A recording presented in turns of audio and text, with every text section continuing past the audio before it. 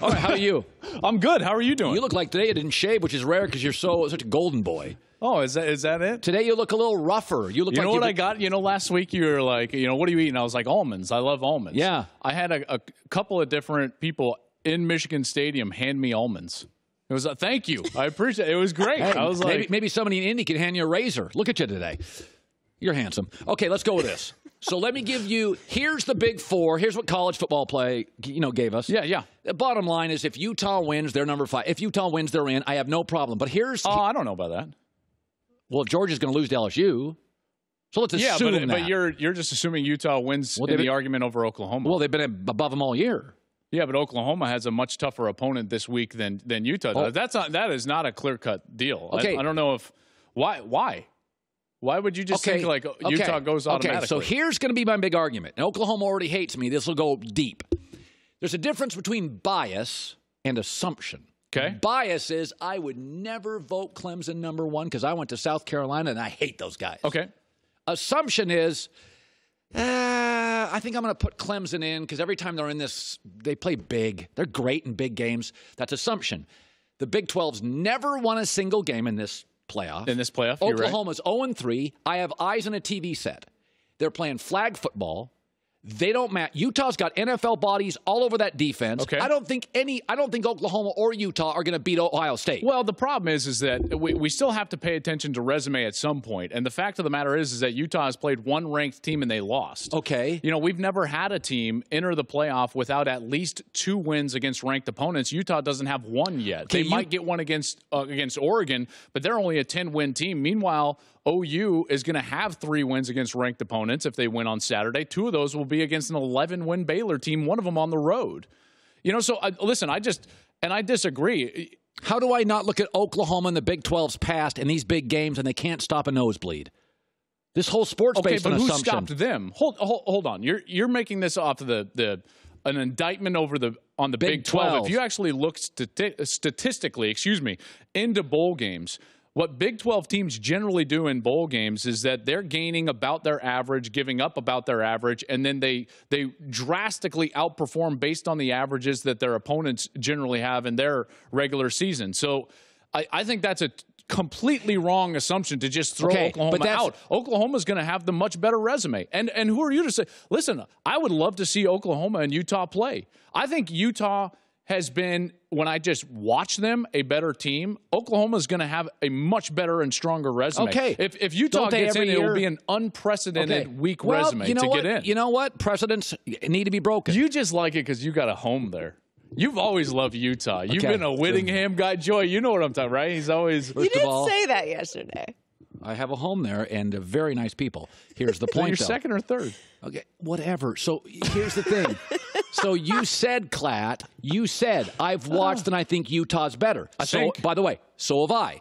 Precedents are made to be broken. But here's the thing about Oklahoma Oklahoma always has a better resume. Every year, they're the better scoring team and the flashier team and the Heisman team and the quarterback team and the Lincoln Riley team and the Bob Stoops team. Every year, their resume looks great because they beat a bunch of flag football teams outside of TCU that plays real defense or at least tries to.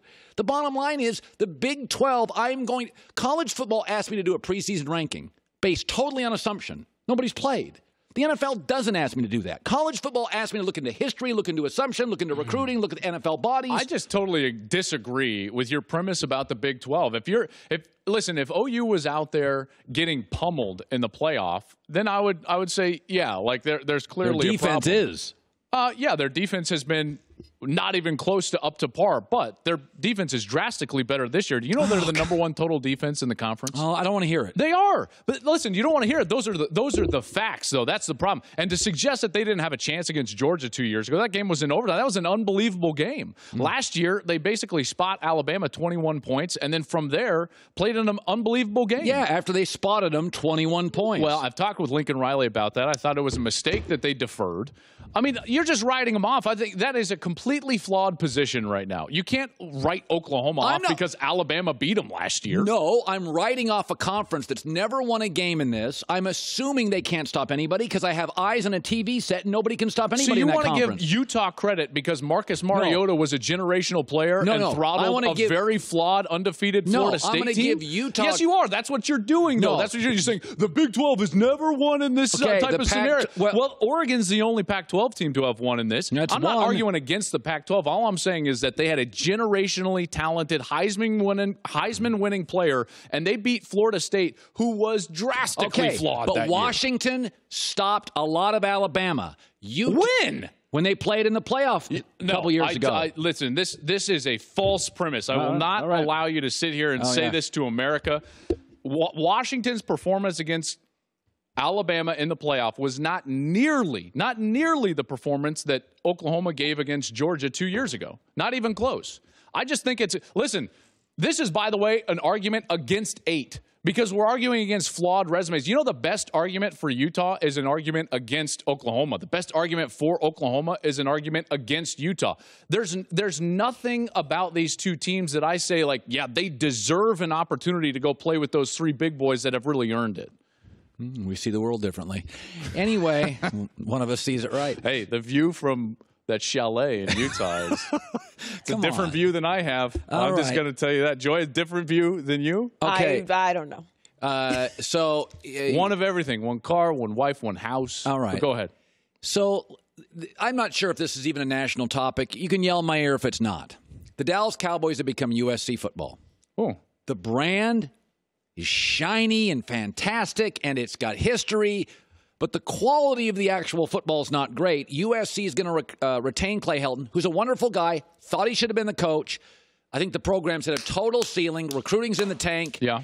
And I, I look at the USC situation and I look at the Notre Dame situation. Notre Dame had a series of coaches that didn't work, went and got Brian Kelly. Now they're a player. Yep. USC's had a, a, a, a bunch of coaches that haven't worked. I think they don't go need, need to go get a big time coach. What do you make of Clay Helton being retained? Um, I think that if you look at it in and of itself, if you put blinders on and you try to look at just that decision in a vacuum, it doesn't make much sense.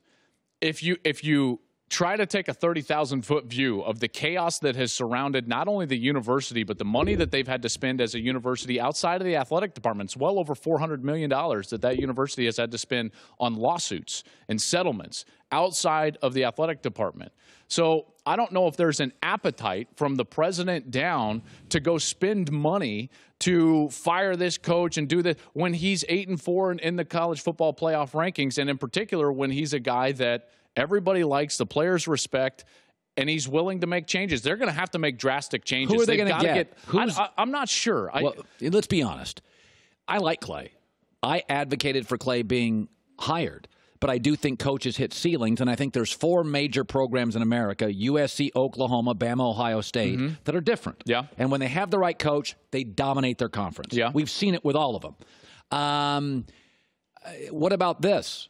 New stadium, nobody's in it after they get blown out by problem. Bama in the opener. I, I've told you that the two reasons why I think ads should make decisions are butts in the seats, revenue, and and recruiting, and both of those are, are at, at low points right now for USC. what would you do? You're the AD there. Uh, I would tell him he's got to go hire Morgan Scalley, uh, Scalley, the Who's that? defensive coordinator for Utah, all right. Never because he's obviously made- done it. Scalley is a terrific defensive coordinator. He's been under Whittingham for a long time. If if you're not going to change Helton, you got to get guys that can recruit. So your Yeah. staff has to change, and then you got to get a better defensive coordinator. Because right right now Oh, they're not funny. tough enough Yes. on the line of scrimmage. By the way, everybody, did you hear that? Old Klatster's like, if you want to get the defense better, hire uh, Utah's coach. He's great. You didn't say Oklahoma's coach. You said Utah's coach. Well, I mean, Alex Grinch has actually created a, a turnaround of epic No, no, proportions that's with the Oklahoma defense. Actually, go look at the statistics, and you'll see Hey, that hey. Grinch has done a, yeah, I hate to be a, job. I hate to be a Grinch on your argument, but you said Utah's guy fixed everything at USC. Well, he's West Coast. Grinch is not a West Coast guy, technically, even though he coached at Washington State. You can go hire Alex Grinch. You're going to have to pay him $2 million. okay, how about this? What are you wrong Let- on now? Go ahead. No, no, you and I are right. Oh, Harbaugh, 44-19 NFL. Do you see who's up for the Carolina job? If you're Jim Harbaugh today, all the nonsense you take from the critics, all the hate you get from guys at this network and other networks, I'm Jim Harbaugh today. You know what I do? Won you 10 games, go to the Citrus Bowl without me. Boom, I'm thanks for flying United. I'm going to the NFL. This is this is deeper than that. If this was another program that he didn't have deep ties to, I think that would be the case. He grew up there. His dad coached with Bo Schembechler. Criticism every day. Yeah, that's fine, but he knows what the truth is, and I've talked to him about it. You know, Jim has done an unbelievable job. In 2014, folks, and this is not the criticism he gets is deserved when it comes to Ohio State only. Outside of that, you have to understand what he's done. He's taken a team that in 2014 was 5 and 7. They missed a bowl game for the third time in their history. History meaning as soon as the Big Ten expanded to allow teams to go to other bowls other than the Rose Bowl. And it was wear only helmets. the third time. Yeah. And, and wear so he took over a five and seven team. Ohio State won the national championship this year.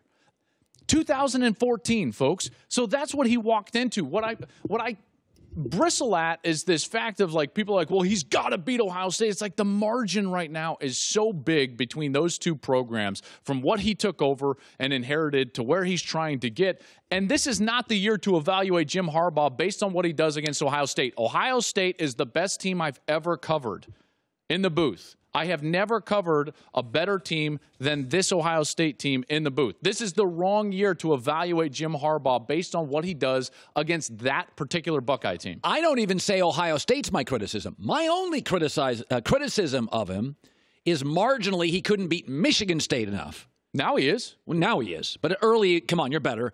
And the only real criticism I've tagged him on is, dude, you're Jim Harbaugh. Get the quarterback thing figured out. They've been kind of a sloppy mess at quarterback. I- he's got to be. Hey, I like the guy, but he's Shea Patterson's nice. Didn't lose much at home until last week. Yep. But he hasn't been good enough at quarterback. He should get a five star guy every year. He's Jim Harbaugh. He's an NFL quarterback. He's a great recruiter. It's Michigan. Uh, I think he needs a quarterback. Shea has played really well down the stretch. Here's the one criticism I would give Michigan is that they play too undisciplined when they get into those matchups against Ohio State. You can't fumble. You can't jump offside. Well- Uh, I mean that's When that's you're playing against deal. better players, sometimes you are pressured. You jump offside when you're playing against better players. That's a that's a fallacy. Okay, th- these were all jokes about the Utah house. I ski uh, in my backyard only. All right, Joel Klatt. E- Exactly. Ski in, ski out. Must be nice. Jeez. Take that, America. I have a ski resort in my backyard. All right, Lucas Oil Stadium, Indianapolis, Big Ten championship game. I think Ohio State. I think it's really close because they beat them earlier. It's hard to beat a team badly twice. It is. Wisconsin's got a great defensive mind and the best running back I've seen since Ezekiel Elliott. I think it's close for three quarters. Then they win. I know it's only been a couple of runs, but I'm tired and cold. Let's go back to my living room. Hey, he's on live again Friday from Indianapolis. You know Whitlock's from there. He is? Oh, good lord. He's he's That's one of why these he's so- guys that's always like Brady Hoke did fine at Michigan. Okay, five and seven, pound sand. Yeah, I'm out. That's why I stopped bringing Whitlock on the show. That nonsense. The Hoke nonsense. just nonsense. I was done with it. I'm done with him. Hi, everybody. Thanks for watching. Subscribe here to get the latest from the show. Also, be sure to check out more of the best clips from The Herd or go watch a few segments from other shows on FS1.